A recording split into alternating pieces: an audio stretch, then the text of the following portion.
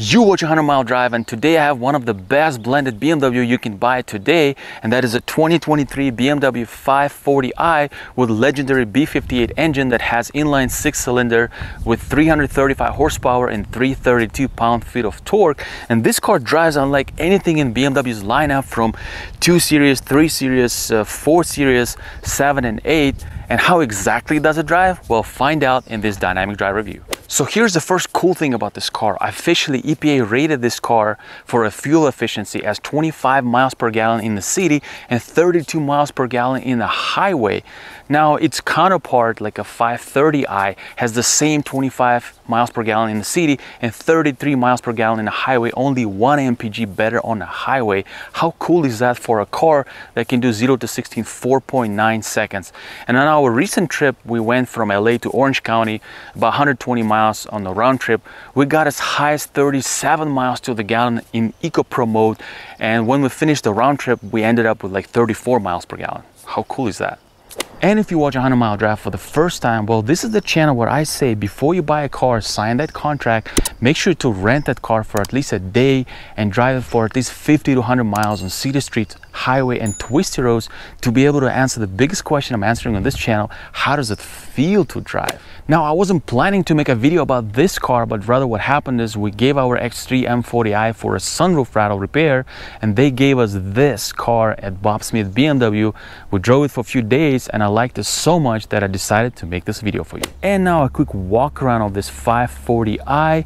Now, I kind of like how this front bumper looks. This has a Shadowline package and an M Sport trim, so it kind of looks a little bit more aggressive. Uh, also, this car looks classy. We already saw the i5 and we kind of know what route this car is going to follow now whether you like it or not also this car came with the 20 inch wheels uh, these are uh, bigger wheels with red calipers and if you want to know what the tire sizes are front has 245 35 r20 and the rear has 275 uh, 30 r20 so it's kind of low profile uh, wheels on this but I definitely recommend this M Sport trim because in my opinion it makes the car looks a bit better. Now 5 Series was never an exciting car in the first place but at least adding some little you know things to it like this lip spoiler, the black uh, accents on the rear bumper makes this car a bit more distinctive from the regular 5 Series.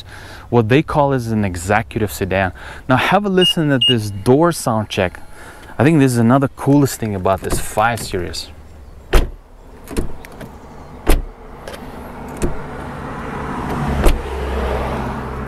This door sounds not even the rear door. I mean, you probably have to hear this in person, but it's pretty heavy door and it sounds absolutely amazing. Now let's get on the inside. All right, now getting on the inside, the first thing I want to show you is this door. Look at this door, how stylish and cool it looks. I definitely like the looks of this door. Now, overall on the inside, I'm gonna go ahead and start the car, push the start button. Uh, it, this car has been around since 2021, so this is a typical BMW, what it looks like. I still like the distinction of this screen and this. I know all this is going away in the future. This is a, a typical M Sport steering wheel, which is, you know, thick. Uh, has a good grip. Uh, some ladies complain about this, but for guys you know I love it I really love this M Sport steering wheel now another thing I wanted to show you I mean first of all this color looks fantastic and these seats I believe are Sensafin very similar to X5 with this uh, you know quilted or whatever you call these diamond uh, but they are pretty comfortable and I like them. They definitely look much better than my Sensatec in X3 M40i. Overall quality is really good. I mean, nothing cracks. Everything is super nicely molded. I uh, already spent uh, good four days in this car and I haven't had any complaints about the interior quality. Uh, this is a good material. They're not super high end. Of course, you have some plastic parts as well, but everything, like I said, nicely molded. So everything speaks quality here, and I think it will, you know, stay pretty solid uh, as years go by. All right, now let's go ahead and drive it. And first I'm gonna drive BMW 540i in the city. I'm gonna put the car in a sport mode uh, Sport Plus just to do few lunches and discuss the acceleration of this car. Drive. I'm gonna leave the screen up for you for sport setting here. All right let's go. All right. So one thing interesting about the 5 series versus let's say 3 series or 4 series is that this car uh, has an older 335 uh, B58 engine. It's funny to say that it's already old uh, but nevertheless all the new uh, platforms of 3 4 series already got the latest uh, even including my X3 M40i which been there since 2021 uh, already have the 382 horsepower. All right let's launch this from here. All right let's go. This is a rear wheel drive model. Got some e-boost from the mild hybrid.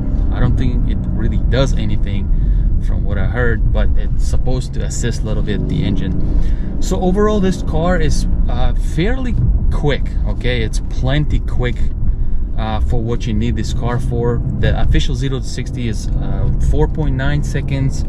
A lot of magazines uh, like car and driver launched at 4.7 seconds.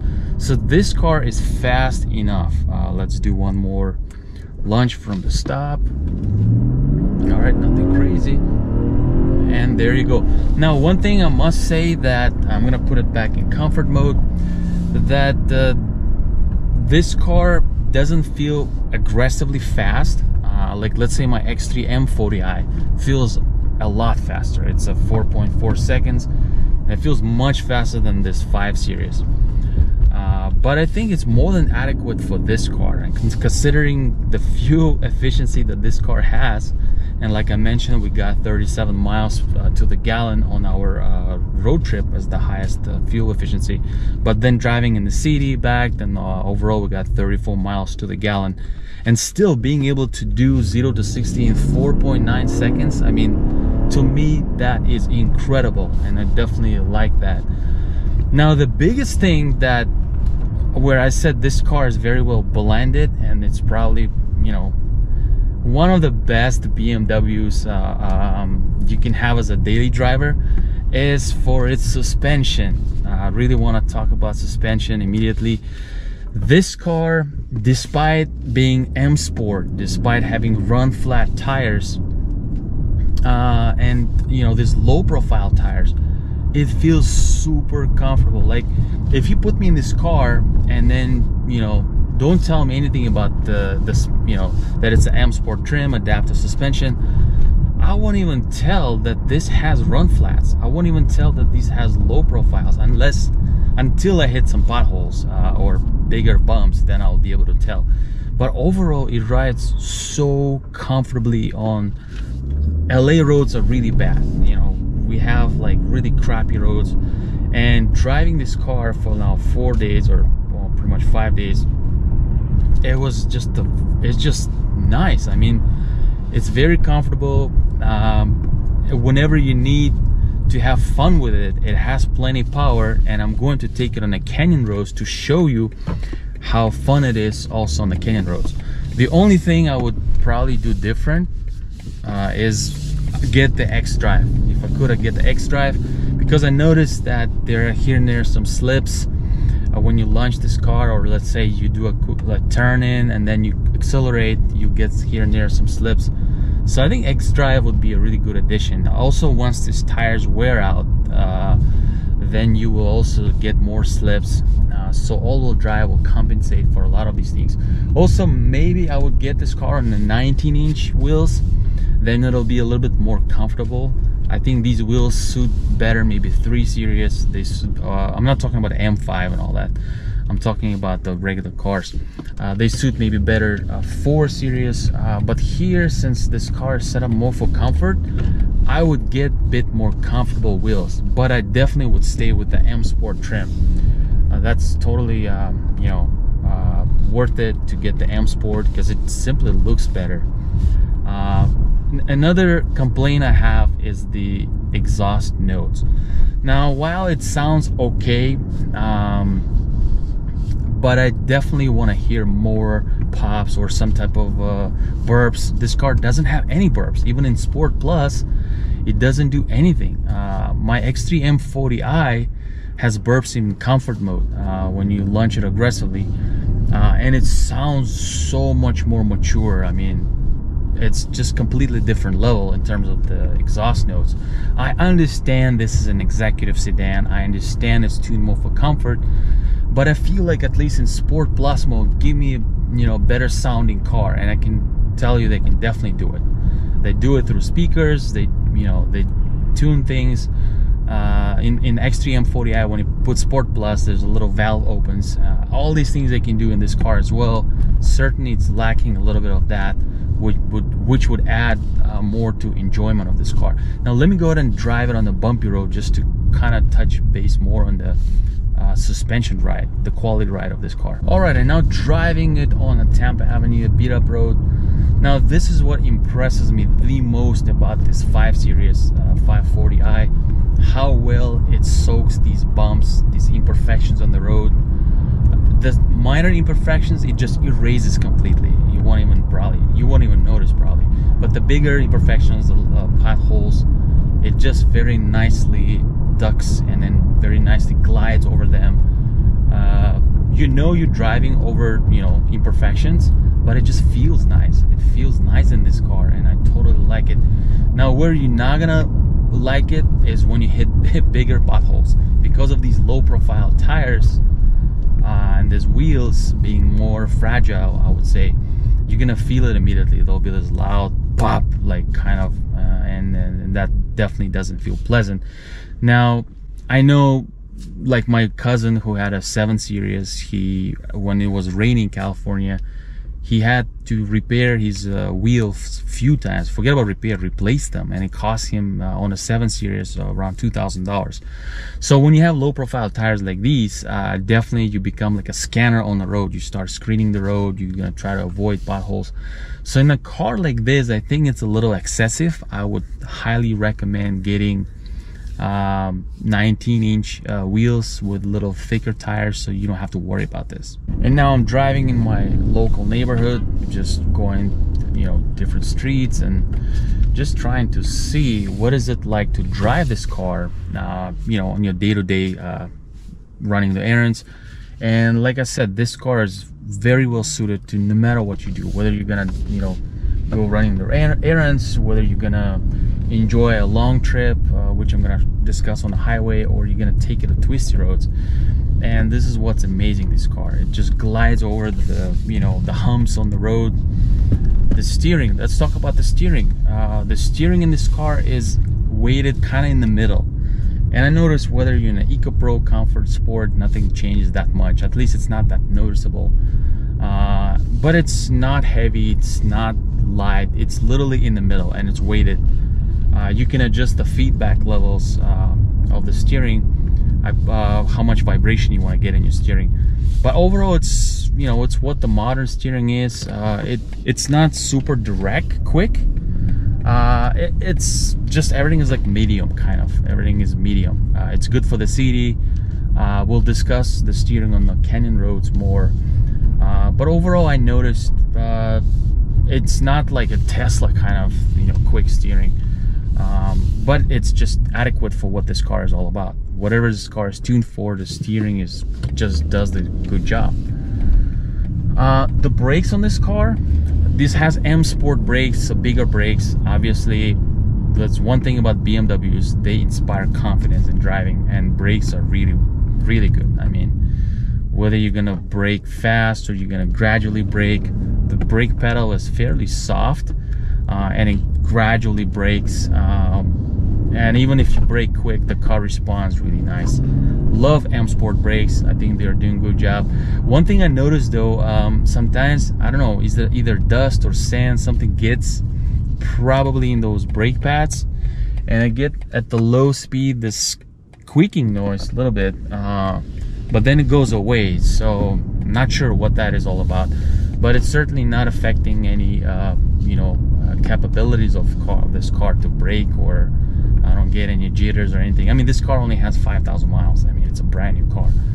So uh, overall, it's very easy, very pleasant uh, to drive this car, doing your day-to-day -day tasks, whatever it is, uh, commuting. I'm just enjoying. I'm enjoying spending time in this car. I think when I go back to my X3 M40i, I'm gonna find that car a, a lot more, um, you know, bumpy. Uh, on the other hand, I'm missing that car for the reason that it's, uh, you know, more aggressive, it's, you know, faster, it's louder, it's like more drama is there. All right, now let me go ahead and drive it on the highway. All right, merging the highway here. I'm still in a comfort mode. And while this car, like when you turn in, there's a little body roll, uh, body lean in this car, but then it still does everything very confidently. Merging the highway. And man, this car has good punching power, very adequate. Sometimes I think like does it need to have more power for what it is? And maybe not. Maybe this is enough. Maybe this is adequate.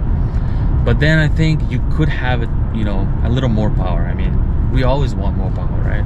All right, so driving on a highway, again, very well balanced, uh, very comfortable. This car is very well cushioned, despite, like I, am gonna keep repeating this, uh, these low profile tires. You can just cruise along. Um, if you're gonna do a lot of long distance driving, make sure you get Driving Assistant Pro package because most BMWs don't have it that way you have adaptive cruise control and some steering assist um, otherwise this car is just perfect now let's measure the sound insulation in this cabin and overall this cabin is fairly nicely insulated just like most BMWs um, it's very quiet in here. Uh, now I'm kind of driving around traffic times. Um, let's see what it looks like. Slow. Uh, driving okay. Man, to be honest with you, it's a very good sound installation here. About 63, I would say. 63 is really good. I mean, it is quiet. You don't hear much noise. You don't hear any noise from tires. Uh, very little, like a background tire noise maybe, but nothing excessive. Here and there, of course, when cars passing by, you can hear them but overall it's pretty quiet i mean uh, i think it's pretty much kind of like 7 series i would say the other part of the test i'd like to do is can you overtake cars on road and obviously not a problem for this car um, it has a lot of punching power i mean for b58 engine it's literally not a problem so yes to answer that question yes it has a lot of mid-range upper end power I think that test is more relevant for uh, like a four cylinders or hybrids, but not for cars like car like this. Yeah, you have to really watch your speed on driving this car. Uh, like I said, it's not as maybe engaging as the 340i because uh, that has definitely a firmer suspension. But this is such a good blend where you can enjoy both. Uh, uh, what is it? You enjoy both both worlds, right? the world of sportiness, like when it's sporty, and the world of comfort when it's just just nice to chill here in this car. And uh, you start appreciating these things maybe at the after 30, um, where you kind of want the car that can do everything, uh, and that's where cars like this, uh, I think, pretty good overall. So now let me go ahead and drive it on the twisty roads, and we can discuss its performance. And the time has come driving BMW 540i on the Canyon roads. Let's go. I have my sport display. I have a Sport Plus transmission. All right, let's go.